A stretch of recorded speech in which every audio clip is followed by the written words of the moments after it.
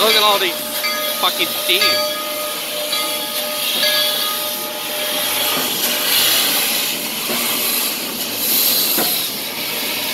Whoa. Real coaches.